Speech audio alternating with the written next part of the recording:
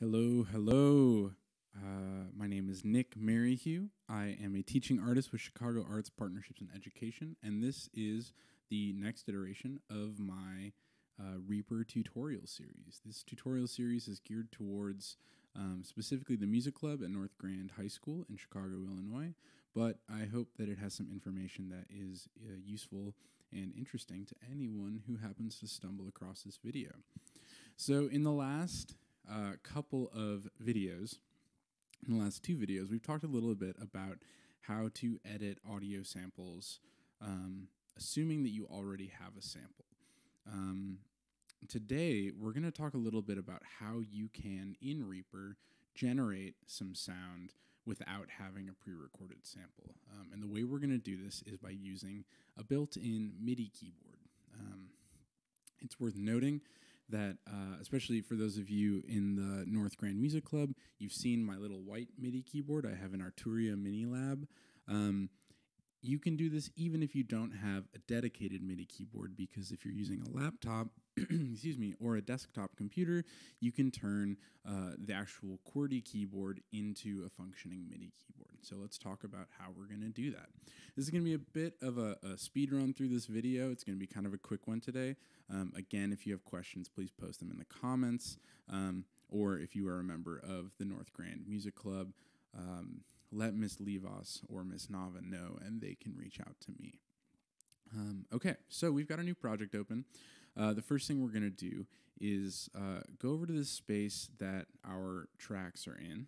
I'm assuming that our preferences are set, so I will I will go check out our preferences here. Control P, or I guess let's go Options, down to Preferences. I've got the audio coming out of my headphones, which is what I want. I don't need a microphone right now, so we're good to go. Uh, I'm going to right click on this area in here where our tracks go, and you'll see this little window pop up. We can insert new track this way, we can insert multiple tracks this way.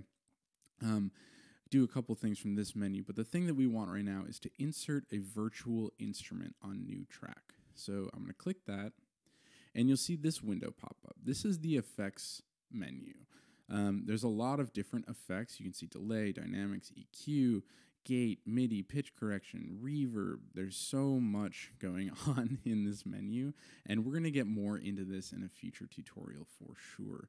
Um, but for the moment, you should get at least these top three. It's likely that you won't have Analog Lab 4, that's a separate program that I'm running, but you should have these three the Resamplematic 5000, Resynth DR, and ReaSynth. Um, the simplest one, I think, is the ReaSynth. Uh, so this is what we're going to use today. Um, it's worth noting these are all VSTIs, and you can go online. These are all virtual instruments. You can go online and search like free VSTIs or free VSTs, uh, and there are lots of free instruments that you can check out um, that you can download and kind of insert into Reaper. And maybe we'll do a future tutorial on that if folks are interested um, on how to get kind of external VSTs into your program. But for now, we will use this kind of default ReaSynth. We're going to click it, click OK. And you see we've got a new track here. Uh, the effects button is lit up, right? This, this button is lit green. So if I insert another track right here, you see the effects button is not lit up and this red button over here is not lit up. On the track that we just added, that's our virtual instrument, both of those things are, and we're going to talk a little bit about why that is. Um, so if I X, this window should pop up right here. This is our ReaSynth. If you X this out, you can re-access it by clicking FX. Great. Um, we're only going to worry about this effect today, so we're not going to go into more detail about the effects channel, but again, we'll go over that uh, in future videos. So the ReaSynth, uh, this is a pretty powerful tool for being as simple as it is. Um, you can control volume, you can control the kind of minute pitch uh, differences that you want, um, attack, decay, sustain, release, all control the kind of shape of the sound, how quickly does it come in, how long does it sustain for, um, uh, what is the kind of dynamic contour of each individual note.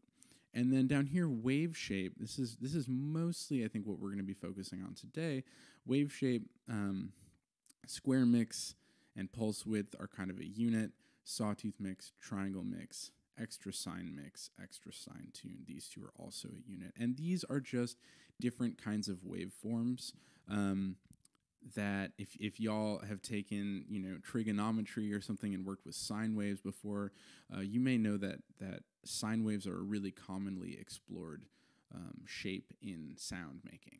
Um, so uh, square waves, sawtooth waves, and triangle waves are other kinds of waveforms that are kind of derived from sine tones.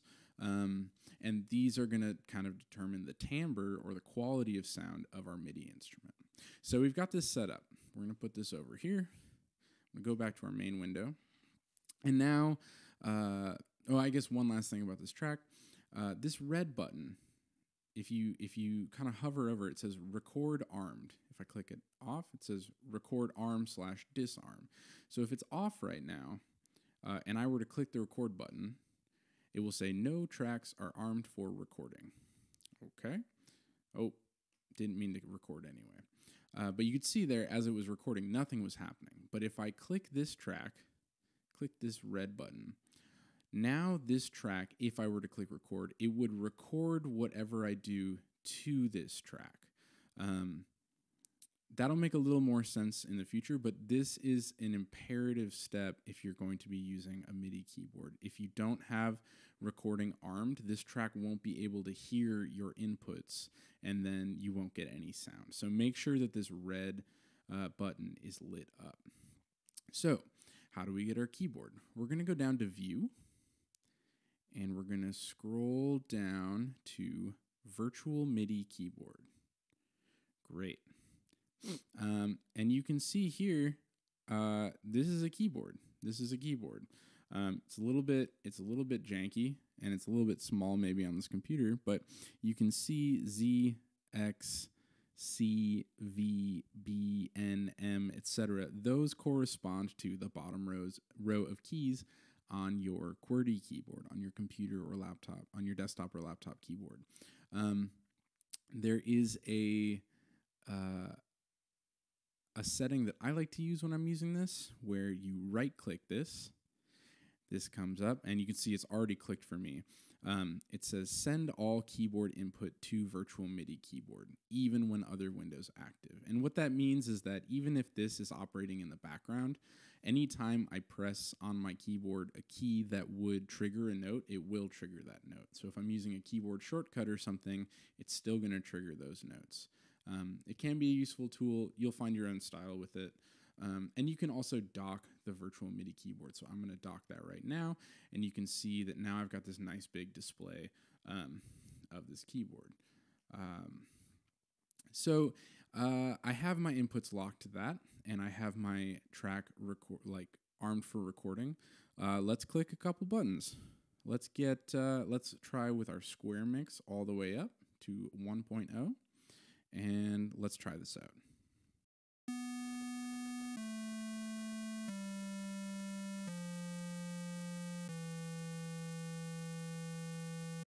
Great.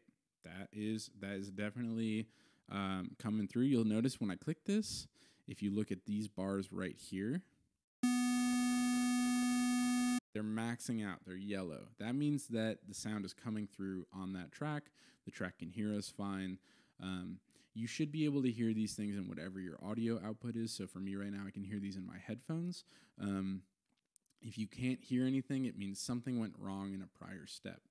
Um, you might also want to check, there's a little zone right here. If you're not getting sound, it says in.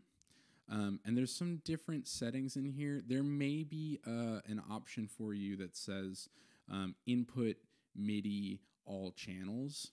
Um, if if that is a step that pops up for you, it doesn't usually come up for me unless I have an external MIDI keyboard.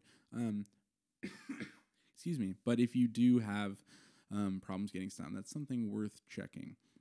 Um, but you should have uh, you should have sound coming through at this point. So let's experiment a little bit with this synth. Um, again, let's play what we just played.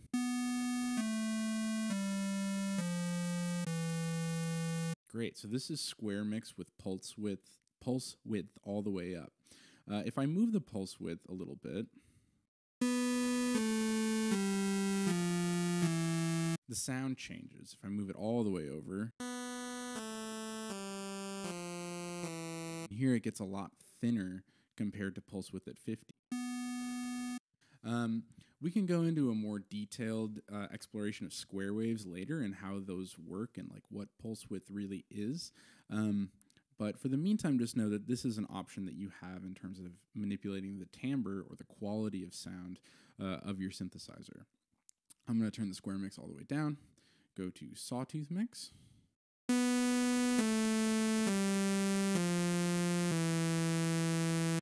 Hear again, the sound is quite different. Triangle mix here, I'm going to also boost the volume because triangle waves can be a little bit quieter.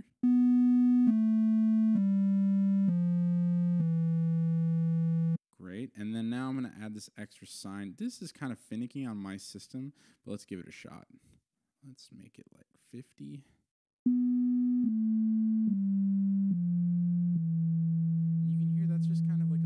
Rounder sound. It's adding an extra sine tone. If I mess with this extra sine tune, let's turn it up, uh, let's say up 77 cents.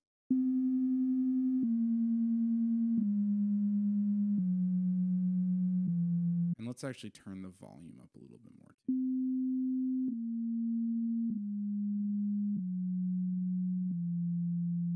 So you can hear, um, hopefully that's coming through on your system as well. You can hear that uh, the extra sine tune is actually changing the pitch very slightly. So you get this kind of whoa, whoa, whoa, this kind of wavering, uh, beating sound in the in the synth.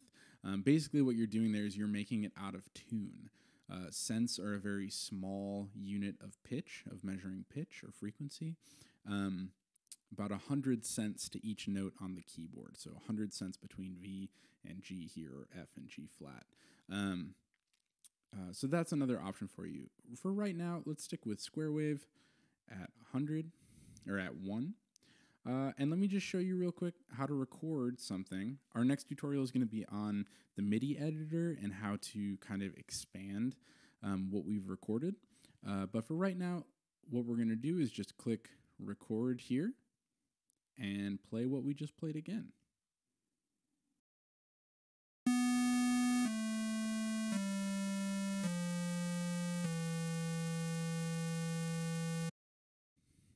And when you stop recording, uh, you'll see this. You can rename the file.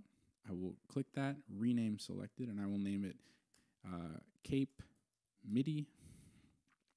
Okay and save all. Now, it's important to note, you notice that this looks pretty different than the audio samples that we've worked with before. This is not an audio file. This is a MIDI file. Um, and the important distinction is that this information, um, MIDI is a, is, is a set of numbers from 0 to 127 that are programmed to talk to this instrument that we've set up in here, this ReaSynth.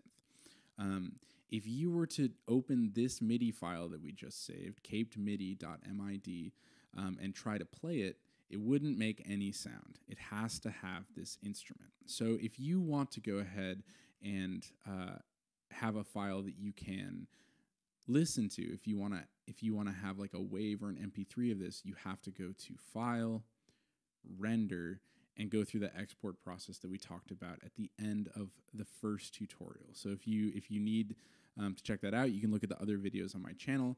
Um, Reaper tutorial one will have the export tutorial. But just know that MIDI files are not audio files. They're kind of subtly different, and if you try and play a MIDI file, it won't have any sound. Um, you need to export it as a WAV or an MP3. Um, just as a little teaser, if I double click this item, we open up this menu, and this is really the nuts and bolts um, kind of nitty gritty stuff that we're going to get into next time about how can we kind of start to manipulate um, MIDI sounds. Uh, this is a super powerful menu. I use this all the time in my practice. Um, but that is for next time. So uh, again, if you have any questions, uh, let if you're in NGHS Music Club, let uh, Miss Nava or Miss Levos know. If you are uh, just poking around on YouTube and you find this, leave some questions in the comments. I'll be checking those comments frequently. Um, thanks so much for watching, and I hope to catch you in the next tutorial.